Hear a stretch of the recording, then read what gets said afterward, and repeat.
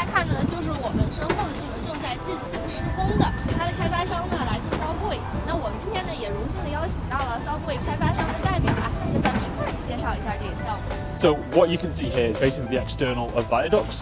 So we've got a full glass facade going up the entire development of the 40 stories. We've not topped out yet, so you can imagine the development going uh, a lot higher, pretty much double from where it is at the moment. Over that way is north. Oh, Um, the way we can see the development now facing out towards behind us is east, which is towards Piccadilly, which is also going to be a really nice view. So, um, south facing is towards Deansgate Square, just to give you your bearings.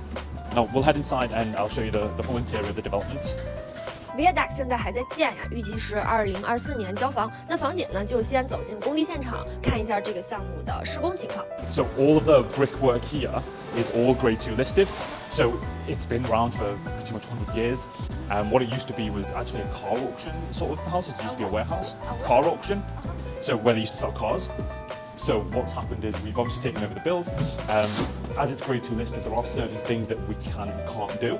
So what we've done is we basically, we can't knock it down and we can't start fresh. So what we've done is we've renovated all of the all of the sort of brickwork. So as you can see, all the grouting has been done by hand, and uh, yeah, it makes it a really characterful and really special build. This area be in the? So the area we, we've entered into now is the main lobby, the main concierge. So through there, you're going to get your main full glass facade entranceway where all the residents can enter from. In here, obviously, you've got a grade two listed sort of um, uh, bricks. That's where your concierge is going to be, the main lobby. That's an interesting contrast. You know, outside is very modern, and then when you enter, it's actually great to, uh, That's it, yeah. So what we've got is, so Manchester used to be a very industrial city. So what you've got is the sort of history of Manchester with the grade two listed artwork here, contrasted with the 40-story glass tower on top. It just shows like the previous history and like the future of Manchester, which is always quite special. This is all co-working here This is all co-working, residence area, lounge. They get to chill out, enjoy themselves. So we've got our own private bar, swimming pool, uh, cinema room, and yeah, karaoke, and oh, everything, everything that you can think of. 当然了，这个项目的公共设施可不止这些。咱们上到二楼呢，就是一个超大的健身房。So what we've got here, on this floor going all the way down to the back there, is one of the largest indoor residential gyms in Manchester. So it goes from obviously from this side all the way out here. 公共空间咱们看完了，咱们来看一个两居室啊。那这栋楼还在建，所以我们现在看到的呢，还是这个房间的工地。但是从这里已经能看出开发商的建筑标准还是非常高的。yes, we so we call it dumbbell layout. So you've got the living area and the kitchen in the middle, two bedrooms with ensuite, everything facing out towards obviously uh, Piccadilly. In terms of the, the kitchen appliances, highest spec you can get, everything comes including including the um, oven, yeah, uh, extractor fan, dishwasher, uh, washer dryer, basically fridge, freezer, everything comes included. We've got a breakfast little bar here, TV can go on the wall, so for quality of life, quality of living, it's the highest standard. 那接下来呢，咱们参观两个卧室，这个户型呢比较敞亮，而且呢惊喜的是，两个卧室都是 ensuite，都带独立的卫生间，这个设计会很受欢迎啊，因为无论是主人还是客人呢，都会有自己独立的洗手间。 A1 location, number one location in the city, so the best spec that you're going to get in any development. One thing you were asking me before was about our sort of self-financed, sort of privately funded situation. It is, so basically we, we're owned by um, one of the largest bookmakers in the world, who's a co-owner of our uh, company along with uh, Simon Ismail. Now, what Fred Done can bring to the company is basically, obviously that a lot of it is the self-finance side. So he puts his own funds and he sources funds himself as a company, um, and what we can do with that is basically we build the development ourselves, we build it without the need of your investors' funds. So regardless of whether we sell one unit or 100 units, this is definitely going to complete, as has been the case with our eight developments in the past.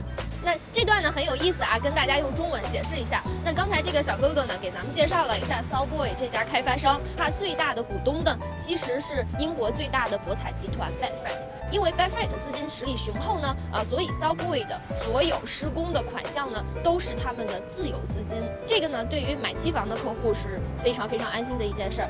因为 south boy 的项目呢现在没有项目上的样板间，所以呢我们带大家来了一个它已经完工的项目 Fifty Five，看一下呢它已经完工项目的建筑标准和它的设施情况。